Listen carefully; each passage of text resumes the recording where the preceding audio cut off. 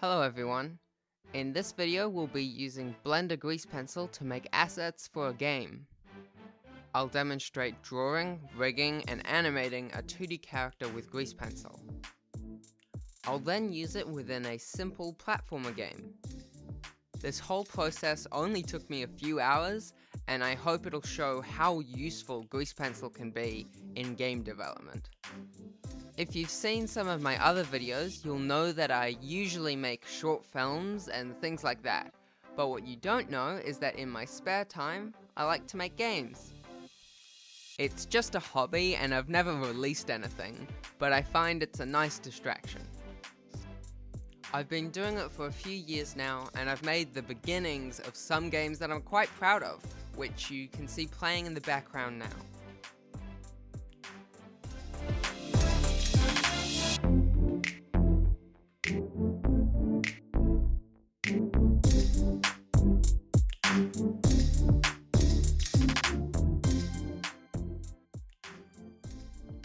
Most of these projects are in 2D, though I've used Blender in the past to create some really simple 3D games.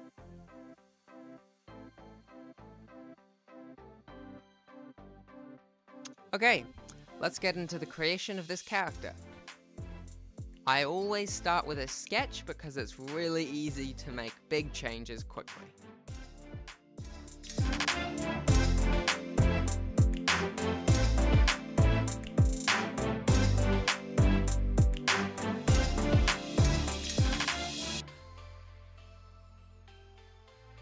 For the actual grease pencil objects, I tried to keep everything in as few objects as possible, just to keep things simple. Also, I try my best to name each object appropriately. This helps keep things from getting too messy. Follow the link in the description to watch the entire character creation process. Here's a brief time lapse to give you the basic idea. And I'll come back to you when we move on to rigging. Enjoy!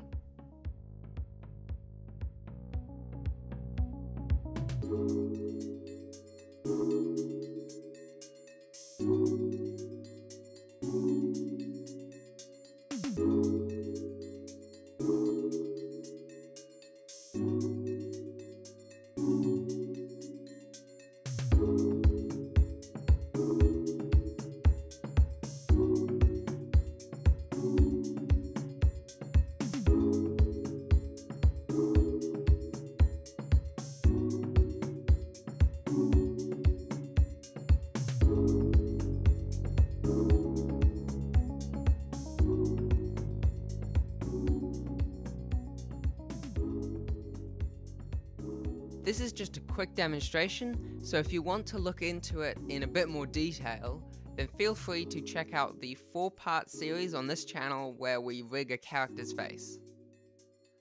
That said, I will briefly run through it now. Essentially, there are a few layers of the rig that we need to create. The most fundamental and most intuitive is the deformation layer. These are the bones that will directly affect the grease pencil objects. These could be compared to the underlying armature of a marionette puppet, connecting all the limbs. This gives our character structure, but would be complicated to animate manually. So we make another set of bones, the mechanism bones, and this is where rigging a character can begin to feel a bit like programming. These build on the structure of the deformation bones, making them easier to control. These are like the strings on our puppet. Finally, we have the control bones. These are the ones that the user interacts with or animates, like the crossbars of the puppet. To recap, the control bones affect the mechanism bones, these then affect the deformation bones, which finally move our grease pencil character. Lots of flexibility with simple controls.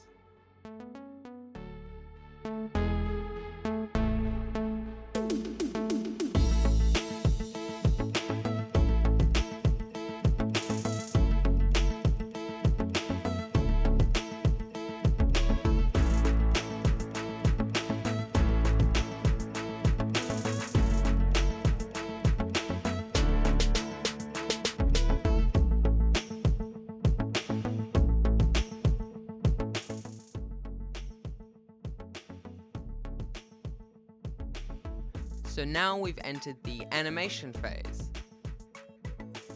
For this, we'll be working in the dope sheet and the graph editor.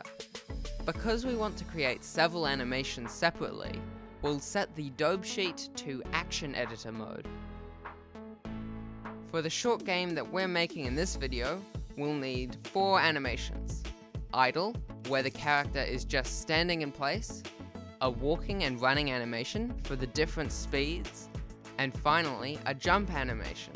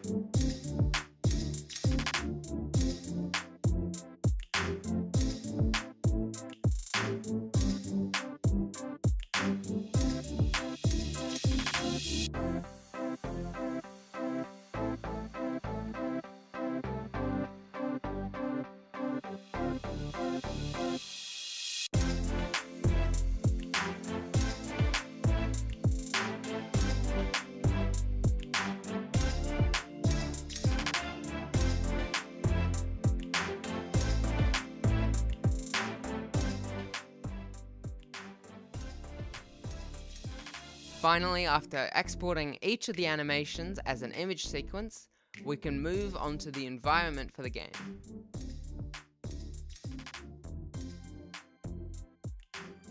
After planning out the general layout of the world, we jump straight into the details.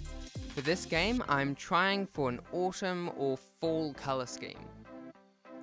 The layout for this game includes a short flat section, followed by a series of little floating platforms. Then there's a wooden elevator or lift that leads up to a floating boardwalk. Then the player bounces along a series of clouds, then finally landing on a blimp. Then the last step is another flat island of dirt that leads to the end of the level. Okay, to bring this to life, I use the free and open source game engine Godot. I'm no expert regarding game dev, so I won't go into the step. But if you are interested, I will be putting the source files in the description. Okay, so this is the final result.